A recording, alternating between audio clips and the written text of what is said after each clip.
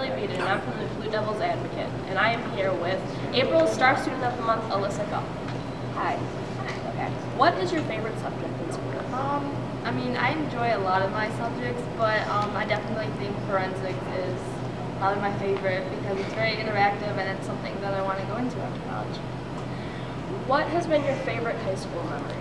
Um, my favorite high school memory would have to be um, with soccer. We won a championship and winning a trophy was such a great feeling. What lessons have you learned in school? Um, you know, just to work hard. I mean, that's basically it. You gotta work hard here in school and then outside of school. What are your plans for after high school?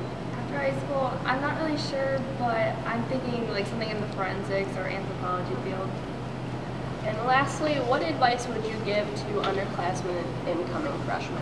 Um, to like, it's kind of a generic answer, but to work hard and to not give up and just don't let the years fly by because it is a fun experience, high school, and it goes by really fast.